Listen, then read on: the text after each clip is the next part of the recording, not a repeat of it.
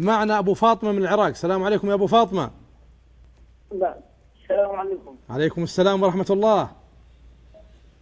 تفضل. آه، توفى رجل أسأله توفي رجل. آه، توفى رجل وله ولدان وبنتان. آه، وأحد الأولاد توفى قبله قبل أبيه. ها. آه، فهناك أموال باقية آه، أبنائه وبنا- آه، ولده وبناته الاثنان فأولاد هذا الرجل اللي توفى قبل أبوه يريدون الورثة مم. آه، وهناك أموال مسجلة وأموال غير مسجلة سألنا بعض الشيوخ وقالوا ليس له لأن لأنه توفى قبل أبيه مم. فماذا ما ما الحل؟ هل هل يعني عدم تسجيلنا لبعض الأموال لهذا الرجل هل يعتبر إثم أم غير إثم؟ طيب ال ال الأب الكبير رحمه الله هل ترك وصية لأبناء ابنه. ترك وصية لأحفاده؟ هو الرجل توفى توفى توفى الولد قبل الوالد. نعم الوالد الكبير هل الأموال اكو أموال مسجلة وأموال غير مسجلة. لا اسمع يا أخوي. نريد انه عدم تبيانها أبو فاطمة. آه، هذا ما محل الشرع من هذه المسألة.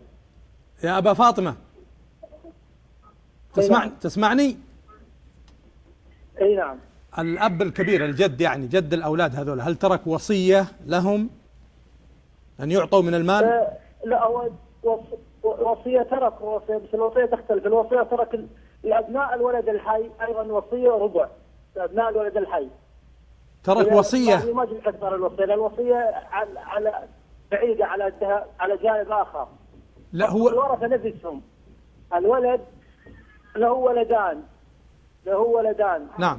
أحد الأولاد توفى قبل والده. واضح واضح السؤال يا أبو فاطمة. بين هذا أبناء ال- الولد اللي توفى آه. أبناء الولد المتوفي. نعم.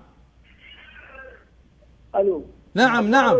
يطلبون الورثة. طيب إحنا نسألك الآن أنا أس... يجون ال- المحاكم تجعل لهم ورثة. يا أبو فاطمة. اسمعني. ألو. اسمعني يا أخي. خفف التلفزيون اسمع من الهاتف اسمع من الهاتف.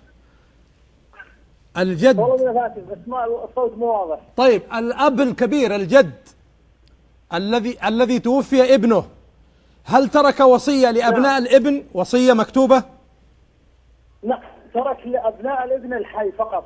أي، ليس طيب. لأبناء الابن الذي توفى قبله. طيب شكرا لك. شكرا بارك الله فيك.